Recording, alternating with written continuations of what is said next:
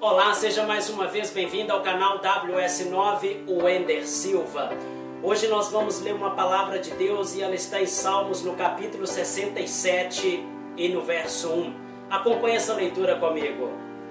Deus, tem misericórdia de nós e nos abençoe e faça resplandecer o seu rosto sobre nós, para que se conheça na terra o teu caminho e em todas as nações a tua salvação. Louvem-te-á, ó Deus, os povos, louvem-te os povos todos. Alegrem-se e regozijem-se as nações, pois julgarás os povos com equidade e governarás as nações sobre a terra. Louvem-te, louvem-te a ti, ó Deus, os povos, louvem-te os povos todos. Então a terra dará o seu fruto e Deus, nosso Deus, nos abençoará. Deus nos abençoará e toda a extremidade da terra o temerão. O salmista Davi, aqui ele falando sobre esse salmo, aonde ele pede Deus para que Deus dê a ele um esplendor da glória dele. Ele disse: ó, tem misericórdia de nós e nos abençoe, e faça resplandecer o seu rosto sobre nós. Uma coisa bacana é quando nós entramos dentro de algum recinto e alguém olha para nós e essa pessoa diz: eu vejo algo diferente em você. Você me transmite uma paz. Eu vejo uma serenidade em você. Bacana quando nós entramos em determinados locais e as pessoas nos identificam como cristãos. E as pessoas nos identificam como homens e mulheres de Deus. Isso é muito importante na vida cristã. Isso é muito importante para você que serve a Deus ou diz servir a Deus.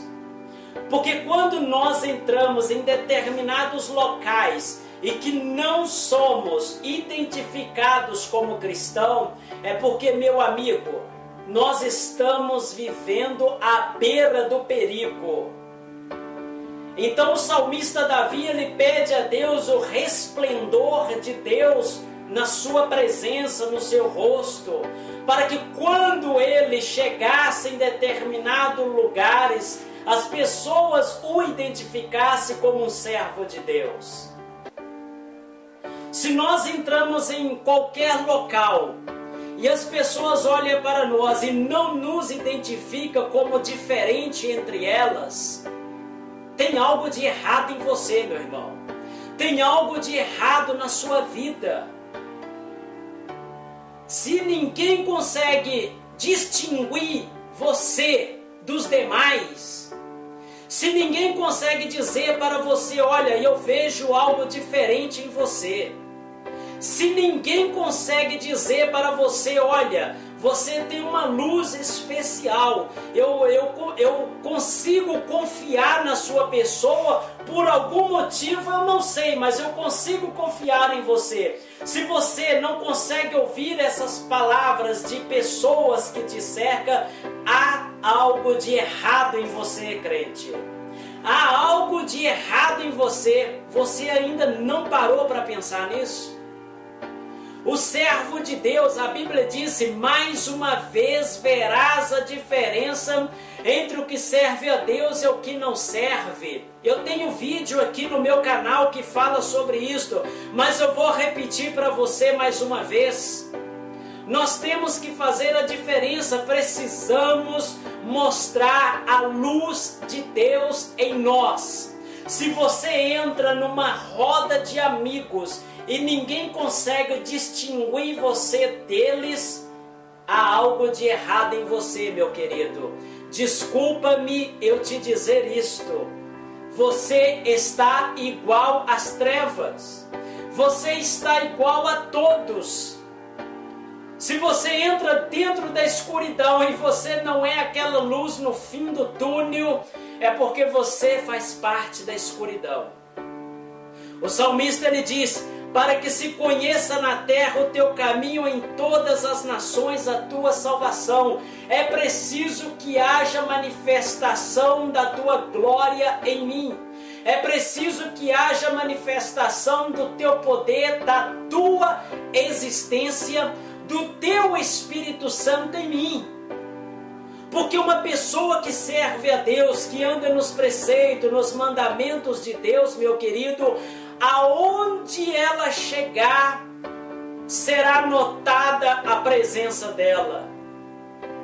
Em qualquer recinto, em qualquer lugar que essa pessoa entrar, ela será notória.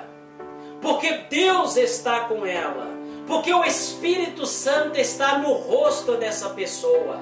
Agora, quando essa pessoa ela entra e ninguém nota a diferença dela, é porque ela é igual a todas. Isso no mundo espiritual. E quando você é igual a todos, ninguém nota a sua diferença, há algo de errado na sua vida. Pode tratar-se, pode dar um jeito de buscar, pode olhar para o céu, rasgar as suas vestes espirituais, pode clamar, porque tem algo errado. Você precisa chamar a atenção aonde você chega. Há muita gente que quer chamar a atenção com tatuagens, há muitas pessoas que querem chamar a atenção com a roupa que se veste, há muita gente que querem chamar a atenção com a cor do cabelo que pinta. Meu amigo, você precisa chamar a sua atenção é a quem você pertence. Você precisa chamar a sua atenção quando você entrar, é com a luz que você vai resplandecer do seu rosto quando você entrar naquele ambiente. É esta diferença que você precisa mostrar ao mundo, meu irmão. É esta diferença que o mundo quer ver de você. O apóstolo Paulo disse: o mundo espera com ardente manifestação a manifestação dos filhos de Deus. O mundo espera com ardente expectação a manifestação dos filhos de Deus. O mundo espera a sua. Ele espera ver Deus em você. Ele espera ver a luz brilhar no teu rosto, meu amigo e minha amiga. Esta é a sua palavra de hoje. Eu te vejo aqui amanhã com mais uma palavra de Deus. Um abraço a você.